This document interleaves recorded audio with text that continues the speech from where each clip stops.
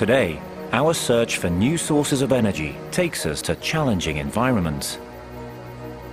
And it's in places like this that we've built our reputation as a great explorer.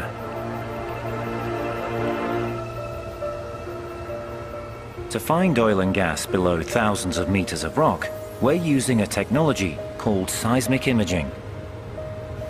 Until now, the acquisition of seismic data has involved trucks sending sound waves into the ground one at a time to ensure there's no interference between their signals.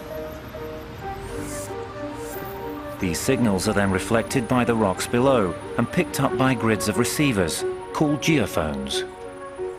The reflections are then analysed to give us a picture of where the oil and gas resources are.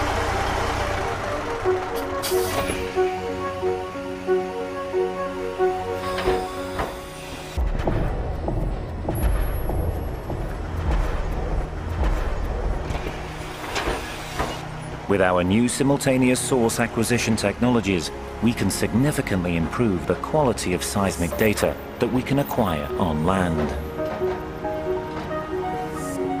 One of these technologies is called Independent Simultaneous Source, or ISS.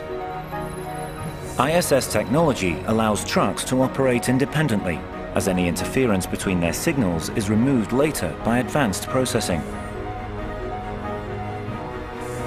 This significantly cuts the survey time by up to 80% in places like North Africa and the Middle East, where simultaneous source acquisition technologies have already been successfully deployed.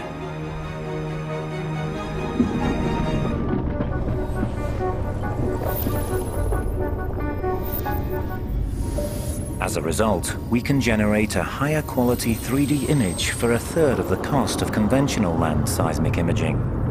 And crucially, make better decisions about where to drill.